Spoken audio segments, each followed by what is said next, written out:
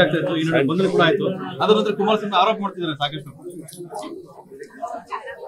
ನಾನು ಕುಮಾರಸ್ವಾಮಿ ಆರೋಪ ಏನು ಕಾಂಗ್ರೆಸ್ ಆರೋಪ ಏನು ಅನ್ನೋದ್ರ ಬಗ್ಗೆ ನಾನು ಗಮನ ಕೊಡಲ್ಲ. ನಮಗೆ ಸಂತೃಪ್ತಿ ಇದೆ ಅವನೊಬ್ಬನ ಬಂಧಿಸಿದೀವಿ ಅಂತ.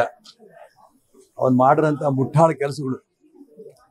ಅದ್ರ ಬಗ್ಗೆ ಯಾವುದೇ ಕೋರ್ಟ್ ಏನೇ ಪನಿಷ್ಮೆಂಟ್ ಕೊಟ್ಟರು ಸಾಕಾಗ್ಲಿಕ್ಕಿಲ್ಲ. ಹಾಗಾಗಿ ಅವನ್ನ ಅಂತ ದುಷ್ಟನ್ನ ಈಗಾಗಲೇ ನಮ್ಮ ಸರ್ಕಾರ ಅರೆಸ್ಟ್ ಮಾಡಿದೆ.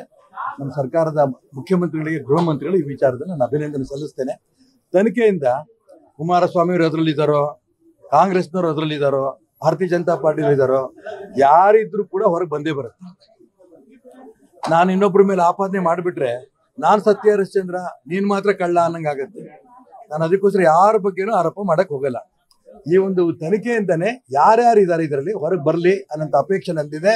ಇಡೀ ಕರ್ನಾಟಕ ರಾಜ್ಯದ ಜನರದ ಅಪೇಕ್ಷೆ ಇದೆ. ಇಂಥ ವ್ಯಕ್ತಿಗಳು ಈ ಸಮಾಜದಲ್ಲಿ ಇರಬಾರದು. ಅವ್ರು ಸರಿಯಾದ ಶಿಕ್ಷೆ ಆಗ್ಬೇಕು. ಅಂತ ಒಂದು ಸ್ಯಾಂಟ್ರೋ ರೇವಂತರಿಗೆ ಸರಿಯಾದ ಶಿಕ್ಷೆ ಆಗ್ಬೇಕು ಅಂತ ಇಡೀ ಕರ್ನಾಟಕ ರಾಜ್ಯ ಅಷ್ಟೇ ಇಡೀ ದೇಶ ಜನ ಗಮನಿಸ್ತಾ ಇದ್ದಾರೆ. ತನಿಖೆ ಅಂತ ಅವ್ರಿಗೆ ಶಿಕ್ಷೆ ಆಗಲಿ, ಬೇಗ ಯಾರು ಇದರಲ್ಲಿ ತಪ್ಪಿತಸ್ಥರಿ ಅವರು ಬರಲಿ. ಅದನ್ನ ಕೇಂದ್ರ ಸರ್ಕಾರ, ರಾಜ್ಯ ಸರ್ಕಾರ ಯೋಚನೆ ಮಾಡ್ತಾರೆ. ಯಾಕೆಂದ್ರೆ, ಆ? ನೋಡೋಣ, ಯಾಕೆಂದ್ರೆ ಈಗ ಇಂಥ ಘಟನೆ ಕರ್ನಾಟಕ ರಾಜ್ಯದ ಇತಿಹಾಸದಲ್ಲಿ ಆಗಿಲ್ಲ ಹೆಣ್ಣು ಮಕ್ಕಳನ್ನ ಮಾರಾಟ, ಅದು ಅರ್ಥವೇ ಇಲ್ಲ ಅದಕ್ಕೆ. ಸ್ವಂತ ಹೆಂಡತಿನೂ ಕರ್ಕೊಂಡು ಏನೇನು ಮಾಡಿದಾನೆ ನನ್ನ ಬಾಯಲ್ಲಿ ಹೇಳಕ್ಕೆ ನನಗೆ ನಾಚಿಕೆ ಆಗುತ್ತೆ. ತನಿಖೆ ಏನಾಗಬೇಕು ಇದಕ್ಕೆ ಬಿಡಬೇಕು ಅನ್ನೋದು ರಾಜ್ಯ ಮತ್ತು ಕೇಂದ್ರ ನಾಯಕರು ಗಮನಿಸ್ತಾರೆ. ಅದ್ರ ನಾನು ಅದಕ್ಕೆ ಹೇಳಿದ್ನಲ್ಲ ಇಂಥ ದುಷ್ಟನ್ನ, ಇಂಥ ನೀಚನ್ನ ನಮ್ಮ ದೇಶದಲ್ಲಿ ನಾವು ನೋಡಿಲ್ಲ. ಅವ್ನಿಗೆ ಏನು ಶಿಕ್ಷೆ ಆಗಬೇಕು, ಆಗತ್ತೆ. ಅಲ್ಲಿ ತನಕ ತಡ್ಕೋಬೇಕು. ಮತ್ತೆ ಹೇಳ್ತೀನಿ ನಾನು. ಏನಾದ್ರೆ ಅದು ಅದಕ್ಕೆ ಹೇಳ್ತೀನಲ್ಲ. ನಾನೀಗ ಶಿಜು ಪಾಶಿ ಕಳ್ಳ ಅಂತ ಹೇಳ್ಕೊಂಡು ನಾನು ಕಳ್ಳ ಕಳ್ತನ ಮಾಡಿರ್ತೀನಿ. ನಿಮ್ಮ ಮೇಲೆ ಕಳ್ತನ ಹಾಕ್ಬಿಟ್ರೆ ರಗಳಿಲ್ಲ ನಾನು ಸರ್ಕೊಂಡ್ಬಿಟ್ಟೆ ಅಂತ. ನಾನು ಅದಕ್ಕೋಸ್ಕರ ಯಾರ ಬಗ್ಗೆನೂ ಹೇಳಲ್ಲ. ನಾನು ಹೇಳೋದೇನು? ಯಾರು ತಪ್ಪಿತಸ್ಥರಿದ್ದಾರೋ ಅವ್ರು ಹೊರಗೆ ಬರಬೇಕು.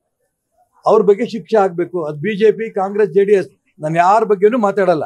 ಹೆಣ್ಣು ಮಕ್ಕಳ ಬಗ್ಗೆ ಅವ್ನ್ ಕೈ ಹಾಕಿದ್ರಿಂದ ದುರುಪಯೋಗ ಮಾಡ್ಕೊಂಡಿರಂತ ನಮ್ಮ ಮಣ್ಣಿನಲ್ಲಿ ಹೆಣ್ಣನ್ನ ಯಾರು ಮುಟ್ಟಕ್ ಹೋಗ್ತಾರೋ ಅವ್ನ್ ಖಂಡಿತ ಅವನ ಅನುಭವಿಸೇ ಅನುಭವಿಸ್ತಾನೆ. ನಾನು ಸುಮ್ಮನೆ ಅವ್ನು ಮಾಡಿದ್ದಾರೆ, ಗೃಹ ಮಂತ್ರಿ ಮಾಡಿದ್ದಾರೆ ಮುಖ್ಯಮಂತ್ರಿ ಮಾಡಿದ್ದಾರೆ. ಅಂತ ಹೇಳಿದ್ರೆ, ನಾನು ವಿರೋಧ ಪಕ್ಷ ನಾಯಕ ಮಾಡಿ, ಕುಮಾರಸ್ವಾಮಿ ಮಾತು ಮಾಡಿದರೆ ಹಿಂಗೆ ಹೇಳಲೇನು? ನಾನು ಸುಮ್ ಸುಮ್ಮನೆ ನಾನು ಹೇಳಕ್ಕೆ ಹೋಗಲ್ಲ, ತನಿಖೆ ಅಂತ ಹೊರಗೆ ಬರಲಿ. ವಿಸ್ತಾರ ನ್ಯೂಸ್, ನಿಖರ, ಜನಪರ.